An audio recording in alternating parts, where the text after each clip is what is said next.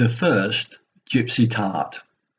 The first gypsy tart was made on the Isle of Sheppey. The gypsy tart is a Kentish classic, easy to make, rich, sweet and delicious.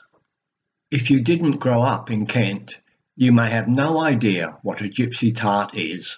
Gypsy tart is remembered by many as the principal dessert on school dinner menus. It was everyone's favourite back in the 60s and 70s. Then the do-gooders came along and decided that all that sugary deliciousness was unhealthy for school children.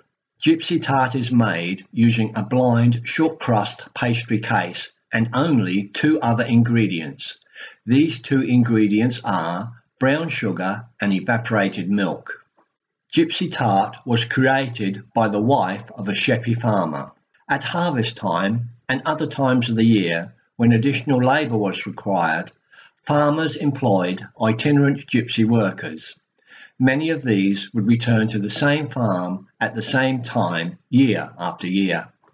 The farmer's wife had been watching the gypsy children playing outside her farmhouse. Although happy and enjoying their games, they were a little unkempt and grubby.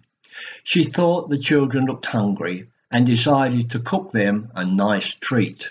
When the farmer's wife looked into her larder, she found it was almost empty, so she used the only ingredient she had available to make the tart. She found the ingredients for the short crust pastry, but all she could find for the filling was brown sugar and evaporated milk.